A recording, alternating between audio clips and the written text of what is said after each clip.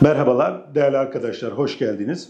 Bugün çok değerli bir konum var. Sayın Doçent Doktor Ertuğrul Karahanoğlu, kadın hastalıkları ve doğum uzmanı, aynı zamanda perinatoloji uzmanı.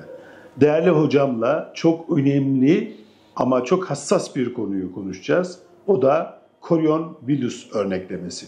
Değerli hocam, hoş geldiniz. Evet, hoş bulduk. Korionvirüs örneklemesi nedir? Kimlere yapılır? Nasıl yapılır? Ne zaman yapılır? Ne sonuç elde ederiz hocam? Sorularımı toptan sordum. Top sizde hocam. Teşekkür Buyurun. ederim. Ee, Korionvirüs örneklemesi e, bebeğin plezantası dediğimiz bebeği besleyen dokudan yani halk arasında bebeğin eşi olarak da biliniyor. Bebeğe dokunmadan iğneler vasıtasıyla örnek alma işlemidir. E, bu işlemimiz 12-14 hafta arasında yapıyoruz. E, işlemin temel amacı bebekte bir genetik hastalık var mı yok mu e, tespit edebilmek. E, dediğim gibi iğne ile bebeğin, bebeğe dokunmadan, bebeğin içinde bulunduğu sıvıya, organlarına dokunmadan e, bebeğin plezantasına giriyoruz. Oradan e, az miktarda bir numune alıyoruz. Doku örneği. Doku örneği alıyoruz ve bu doku örneğini genetik inceleme için laboratuvara gönderiyoruz.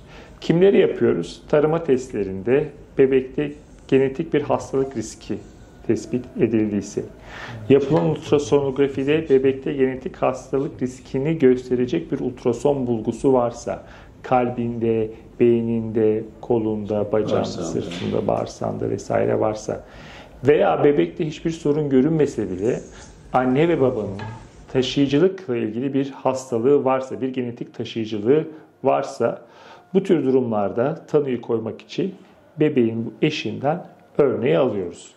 Aslında o eşin genetiği bebeği temsil ettiği için. Evet, aynen öyle. Bu kullanıyoruz. bunlar bebeğin plezantası ve bebek tek bir hücreden gelişiyor. Yani bebeğin gene %99 diyoruz. Her zaman bazen farklılık olabiliyor. %99 e, bebeğin genetik yapısıyla bebeğin plezantası eşi aynı genetik özelliğe sahip olduğu için bebekten almak yerine bebeğin eşinden almayı tercih ediyoruz. Hocam ben bu işi çok iyi yaptığınızı biliyorum. Teşekkür ederim. Ama genel olarak bu işlemde komplikasyon oranı nedir? Ee, Evet. Çok sık görülen şey. Tecrübeyle komplikasyon oranı azalıyor. Ortalama rakam 400 ama tecrübeli el 400'de bir düşük risk ile karşılaşabiliyoruz. Ama tecrübeli ellerde 600'de bir, 700'de 1'e kadar düşüyor bu işlem. Evet. Peki bu sonuç kaç günde çıkıyor? Sonra genetik bir e, danışmanlık hizmeti mi veriliyor? Siz bu işi zaten Evet, yapıyorsunuz. şimdi sanırım. erken sonuç dediğimiz bir yöntem var. Bu 48 saat içerisinde 3 adet kromozomal hastalık için bize sonuç verebiliyor. Bu sadece 3 hastalık. Ee, istenen teste göre süre uzayabiliyor. Normal bir genetik inceleme, basit bir genetik inceleme yapılacaksa 3 haftayı bulabiliyor bu sonucun çıkması. Ama bizim DNA dediğimiz burada çok daha detaylı bir genetik inceleme yapılacaksa, DNA üzerine daha detaylı bir genetik inceleme yapılacaksa bu bir ayı da bulabiliyor bu sonuç. Sonuç çıktıktan sonra o sonucun e, ne olduğu ile ilgili e, karşılaşabilecek sorunlarla ilgili tabii ki aile biz oturup bilgi veriyoruz. Bu üç hastalık ne hocam? 48 Ee, saatte Down sendromu dediğimiz bir hastalığımız var. Halk arasında Down sendromu, trizomi 21 yani 21. kromozomun sayısının normalde Üçlü 3 olması. olması. Evet hocam. 13. kromozomun sayısı ile ilgili sorunlar. 18. kromozom bir de cinsiyet kromozomu ile ilgili sorunları biz 48 saat içerisinde oldukça yüksek bir güvenilirlikle tespit edebiliyoruz. Hocam çok teşekkür ediyorum.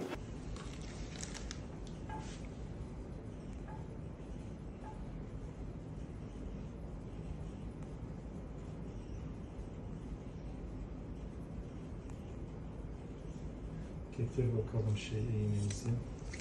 Ucuna, üstüne. Çıkarma. Yes. Şey yani gelmiyor güzel.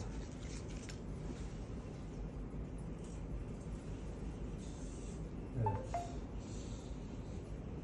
Şimdi çek bakalım negatif basınçla. Çek.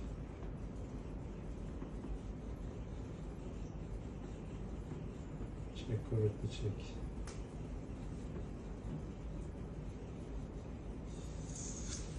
Absolutely.